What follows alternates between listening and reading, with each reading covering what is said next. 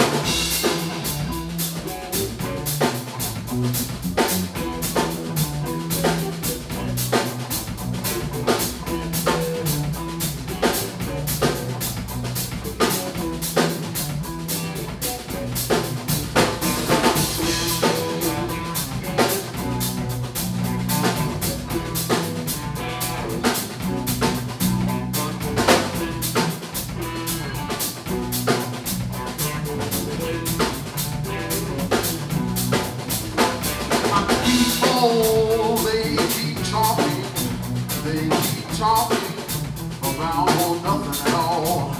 My people, they keep walking, they keep walking tall.